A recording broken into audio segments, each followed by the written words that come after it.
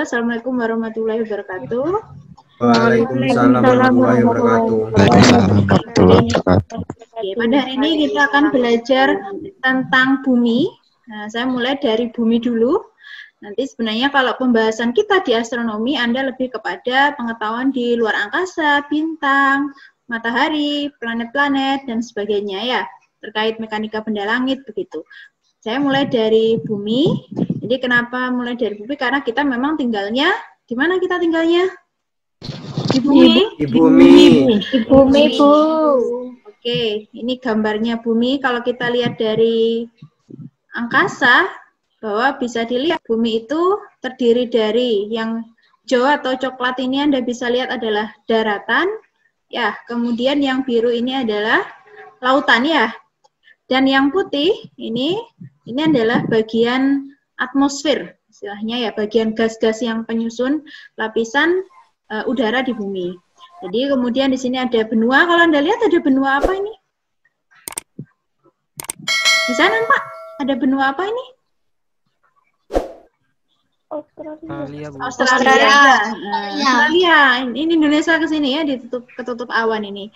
Kemudian di sini ada Eropa di sebelah uh, Asia, kemudian ada Eropa di sebelah atas. Kalau Anda lihat di atasnya lagi adalah bagian kutub utara dan di bagian bawah ini adalah kutub selatan. Oke.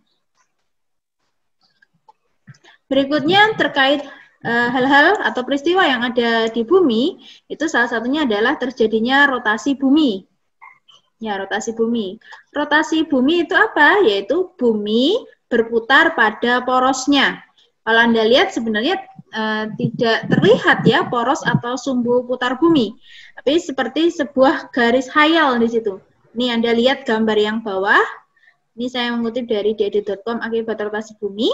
Di sini ada seolah-olah sumbu sumbu dengan kemiringan 23 setengah ya di mana nanti sumbu ini diitari atau dikelilingi oleh bumi itu sendiri. Maka artinya dikenal dengan istilahnya rotasi bumi. Bumi berputar pada porosnya. Ya. berbeda dengan gasing. Anda tahu gasing?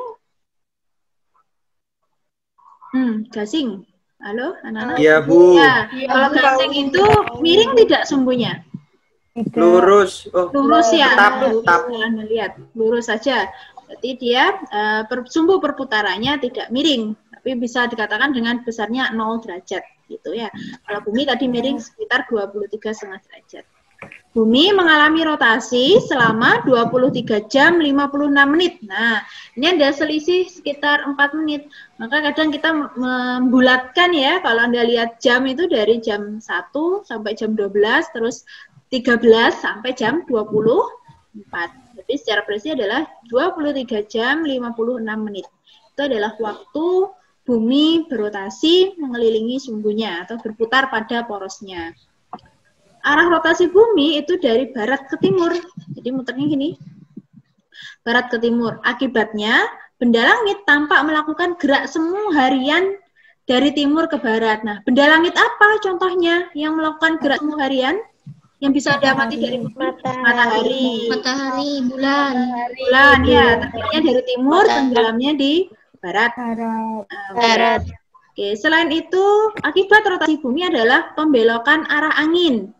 Nah, pembelokan arah angin, jadi dibelokkan ke kanan. Jadi kan kalau anda lihat belahan bumi, tengahnya adalah ekuator, yang atas berarti belahan bumi utara, yang bawah adalah belahan bumi selatan. Karena sambil berotasi, maka uh, arah anginnya dibelokkan ke kanan itu juga di belahan bumi utara. Belokkan ke kanan istilahnya. Coba nanti Anda bisa lihat animasi uh, tentang pembelokan arah ke angin bumi biar lebih tergambar ya. Dan dibelokkan ke arah kiri jika di belahan bumi selatan.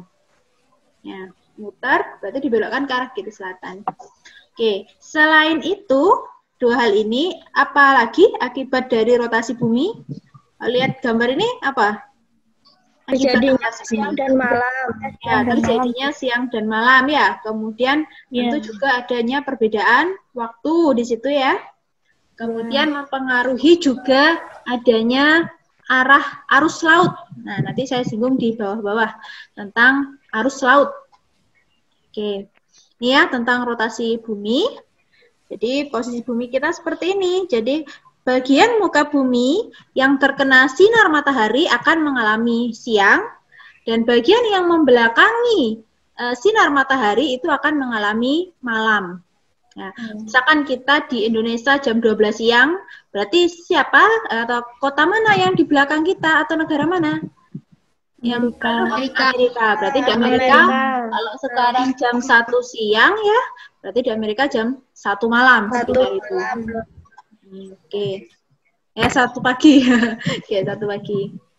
Baik, saya lanjutkan ya. Rotasi bumi. Berikutnya tentang revolusi bumi. Ya, bisa Anda lihat, revolusi berarti bumi berputar mengelilingi matahari. Masih diingat dengan hukum Kepler 1. Ya, hukum 1 Kepler. Bahwasanya benda-benda langit di dalam sistem tata surya mengelilingi matahari sebagai pusatnya dengan lintasan berbentuk elips. Ya. Oke.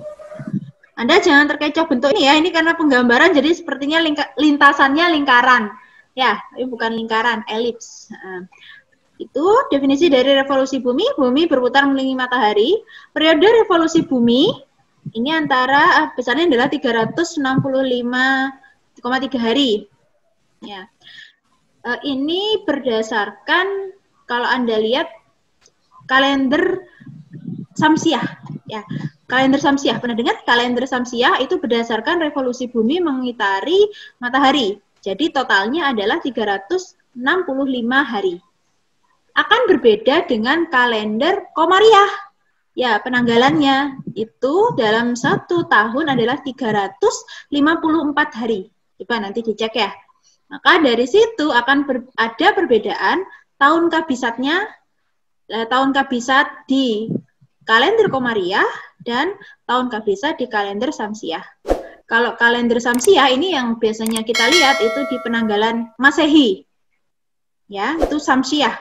Kemudian ada kalender perhitungan Komariah, itu contohnya kalender Hijriah. Ya, Hijriah. Oke, biasanya kalau umat muslim itu menggunakan perhitungan uh, kalender Hijriah. Ya, kalau untuk misalkan hari raya, kemudian hari-hari besar yang lain, ya itu penanggalannya menggunakan kalender Hijriah. Bisa dipahami ya, saya lanjutkan. Ini kemudian uh, beberapa waktu yang lalu hari Minggu ya, Anda ada seminar itu tentang mekanika benda langit. Nah, di situ disinggung tentang equinox dan solstice. Ya, equinox itu apa? Ketika matahari berada tepat di ekuator. Nah, makanya kalau Anda lihat sekarang bulan apa sekarang ini, Rek? Sekarang bulan September. September. Nah, ini September. makanya Anda ketika kita pertemuan minggu lalu, tepat seminggu yang lalu ya, tepat seminggu yang lalu, oh rasanya panas sekali. Kok sampai sekarang masih panas ya? Karena mataharinya itu bergerak ke arah belahan bumi selatan. Kan kalau Anda lihat Jawa, misalkan ada ekuator ya, katulistiwa Jawa kan di selatan, masuk selatan itu ya maka masih terasa panas di tanggal sekarang 30 September ya. Itu berarti matahari kita berada di posisi equinox. Ya, berada tepat di ekuator. Kemudian selain 23 September juga 21 Maret. Nah, tanggal 22 Juni dan 2 Desember itu matahari berada paling jauh dari ekuator. Ya, jadi kalau Anda lihat ekuator atau katulistiwa, nah, berarti di situ ketika 22 Desember itu matahari berada di belahan bumi selatan di sudut 23 setengah derajat lintang selatan. Nanti Anda kenal istilahnya ada titik balik ya. Garis balik selatan ya, garis balik selatan. Kemudian ketika 22 Juni sambil cepet aja nyatetnya ya 22 Juni itu mataharinya akan uh, ke arah ekuator lagi nanti.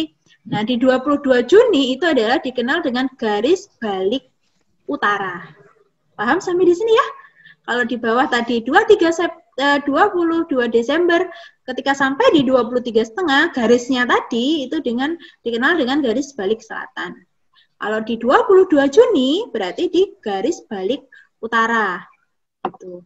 Nah, ini tadi adalah peristiwa uh, gerak semu tahunan matahari. Beda dengan yang tadi, ketika rotasi bumi itu mengakibatkan gerak semu harian matahari. Ya, paham? Kalau yang ini equinox dan solstice itu merupakan uh, bagian dari gerak semu tahunan matahari. Ya. Kemudian ini ada istilahnya winter solstice 20, di bulan Desember dan summer solstice itu di bulan Juni. Kemudian kalau yang vernal equinox itu di bulan Maret, kalau autumn equinox itu di bulan September. Oke. Nanti akan ada uh, banyak peristiwa uh, alam ya istilahnya di situ uh, hoax yang terjadi karena adanya equinox. Coba nanti Anda saya share video ya.